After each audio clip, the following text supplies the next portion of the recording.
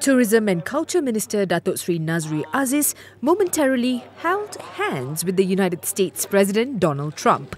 This was done at the launch of the Red Carpet 2, Malaysia's first interactive wax museum, when the minister obliged to take photos in all angles for pressmen next to the wax display of the United States President.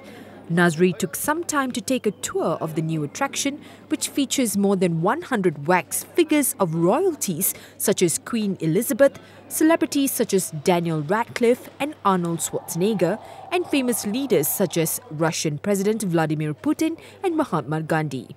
In his speech, Nazri said the achievement of i-City had impressed him when CNN listed i-City as among the top 25 most bright and colourful places in the world.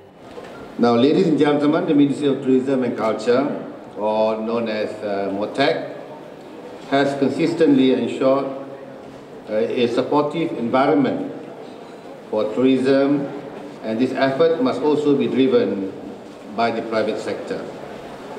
Collaboration between tourism industry, stakeholders, is equally important in ensuring the industry continues to thrive.